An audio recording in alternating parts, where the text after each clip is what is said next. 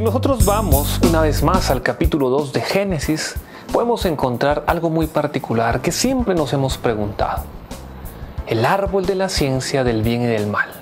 Si recordamos el capítulo 2, en los versículos del 16 al 17, dice Dios, de todos los árboles pueden comer, pero de este que está en el centro, el árbol de la ciencia del bien y del mal, no pueden comer, porque si lo comen morirán. ¿Cuál es el árbol de la ciencia del bien y del mal?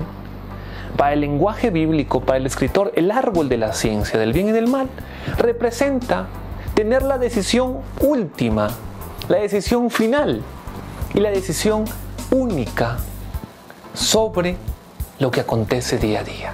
Que no me importa si a Dios no le parece. Que si para mí está bien, así debe ser. Que si para mí está mal, así debe ser. Que no nos interesa aplastar a los demás. Cuando tú comes de ese árbol, está diciendo yo tengo la decisión final sobre mi vida y sobre la vida de cualquiera.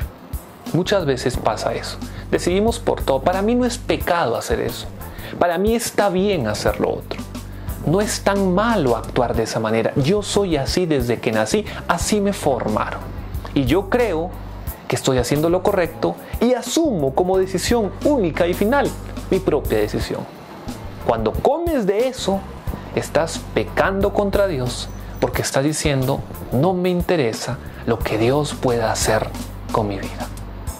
Entonces, pongamos primero a Dios y que Él tome la decisión, pero no te va a librar de la responsabilidad, te va a sugerir cosas, te va a indagar, te va a tocar el corazón, porque todo eso siempre va a ser para la gloria de Dios.